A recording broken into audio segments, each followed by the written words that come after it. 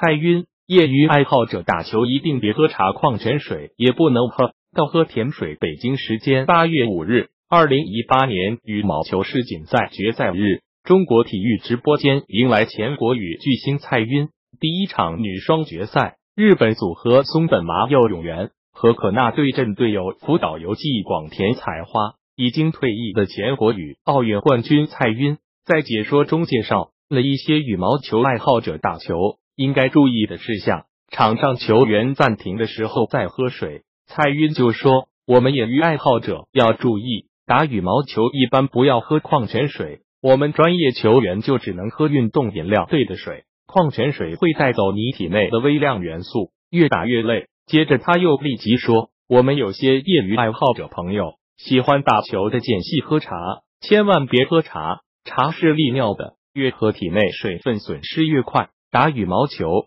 茶、咖啡都不要喝。蔡赟建议说，业余爱好者打球的时候，最好准备一些有能量的甜的水，可以补充水分的同时，也为自己补充一些体力。八月五日决赛赛程：十三零零女双。松的麻友永元和克纳日本 vs 福岛游纪广田菜花日本十四点混双郑思维黄雅琼中国 vs 王懿律黄东萍中国一五点女单马林西班牙 vs 新德湖印度十六点男单石宇奇中国 vs 桃田贤斗日本十七点男双加村健士原田启悟日本 vs 李俊慧柳雨辰中国中国体育直播 zhibo 点 tv。正在全程全场次直播二零一八羽毛球世锦赛。八月五日，毒舌蔡赟正在做客中国体育直播间，解说五场决赛，与球迷们一起为国羽加油。